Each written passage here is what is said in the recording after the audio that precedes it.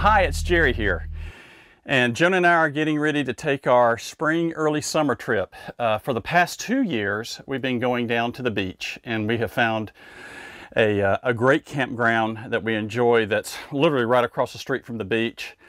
But, you know, as so many times that we get within our campers and things, when Joan and I like to sleep, we like a little air movement on us. We do have an air conditioner here that, you know, is, that is duct. Uh, we've got another air conditioner in the front of the camper and in the evenings, we won't run this one because it's so loud and I'm a light sleeper. When that thing goes off, it's just so noisy.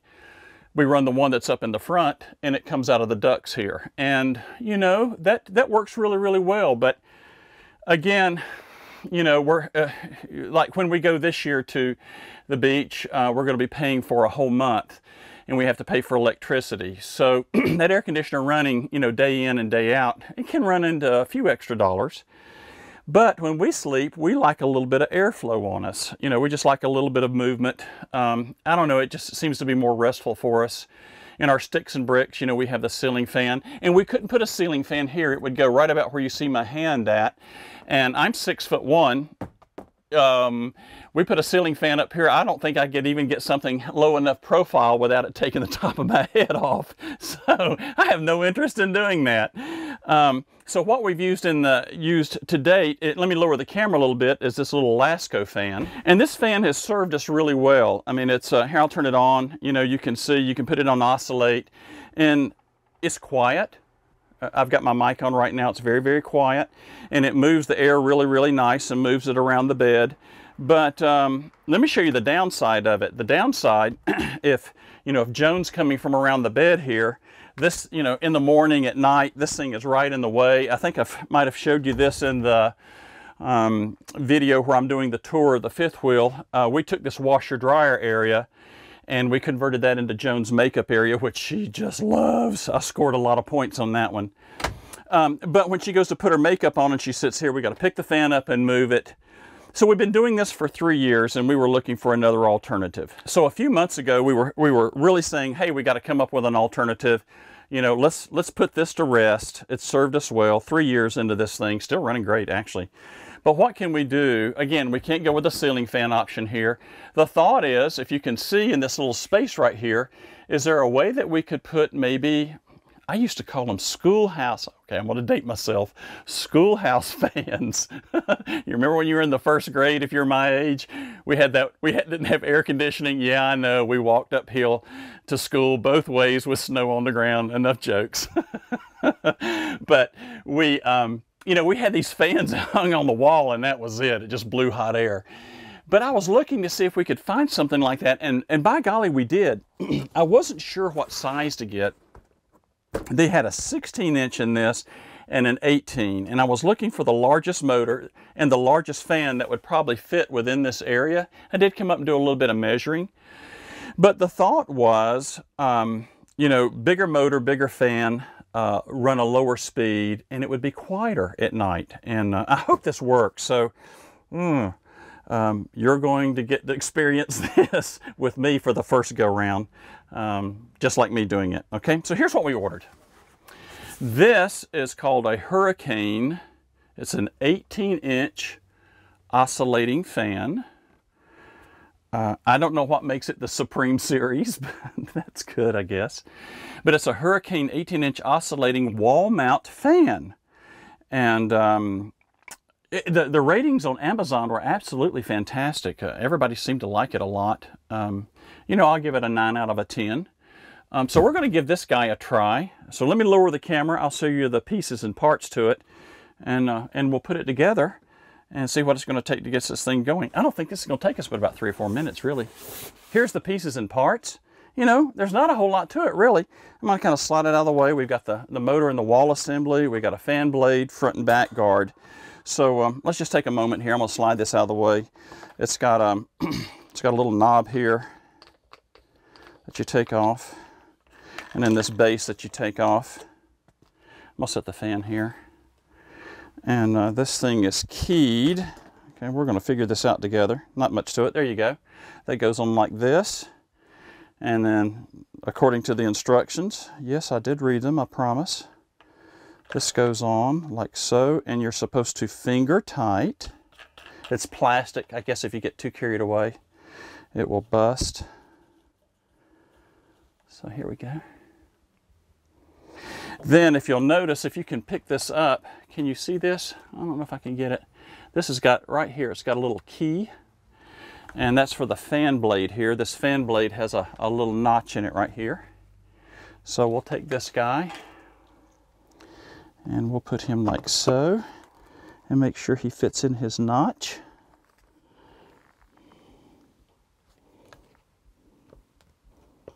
There we go. You actually hear it snap. This screws back on clockwise. Counterclockwise. Counterclockwise. It's left-handed. And for me being a left-hander, that's rare. Cause I definitely live in a right-handed world. Okay, so we've got that. Then I'm going to take this guy here. I am going to find center because I'm funny about stuff like this, but I want my little logo. It says Hurricane, and I want that to be straight. It's not really keyed. There's a little, there's a little spot here for it. And that looks like that is about straight. And then you got these little keys on the side that lock it in. Not, not a whole lot to it really. There we go. And there's that one. Looks like I've got one here at the top. Just a little bit of pressure. Bang! That is assembly, boys and girls. That's all it is to it. Wow. All right, let's put our bracket up here on the top. In an effort to save time, I went ahead and pre-measured this and, and put some and drill the holes here for this bracket. Uh, it does have an up and a down. That's very important because it kind of wedges that little metal piece in the back that hangs it. Um, I did take a stud finder. I was very fortunate to find a stud on one end, but it's hollow on this, so I did use one of those little small plastic wall anchors. And uh, let's just cross our finger and hope that everything sticks. So I'm just going to kind of go ahead and get this started.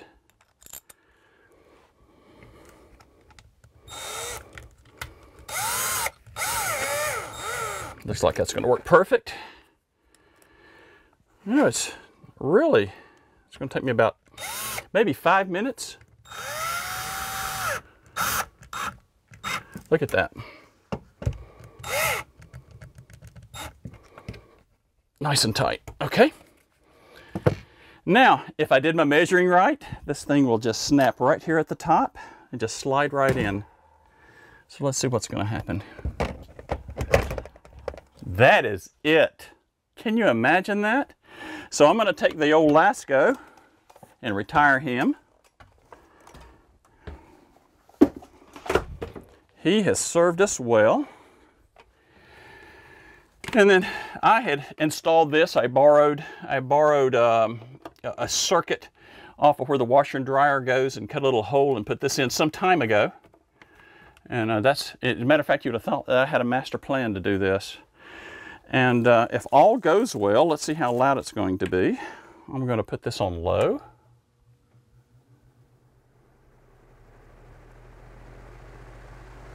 So I'm up here close to the fan. That's not loud at all.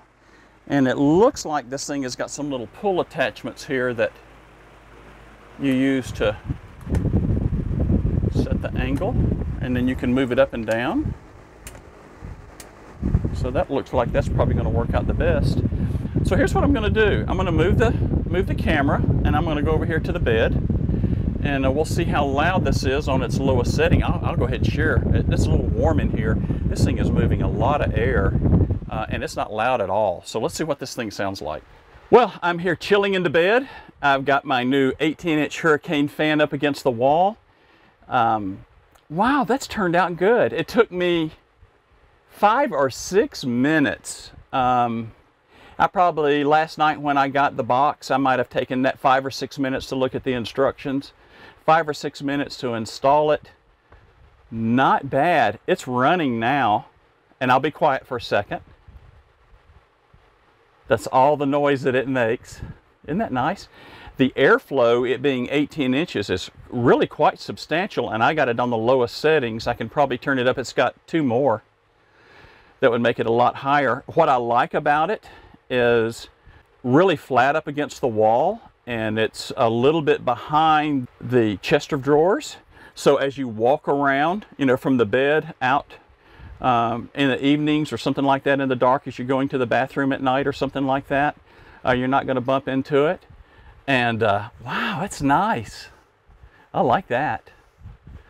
So we've installed us a new fan. We're ready to go to Florida now. There's nothing that's going to stop us. The breeze in here feels really, really nice. you know, I think I'm going to take a nap. So as always, this is Jerry. Oh, I do love RV life. Night night.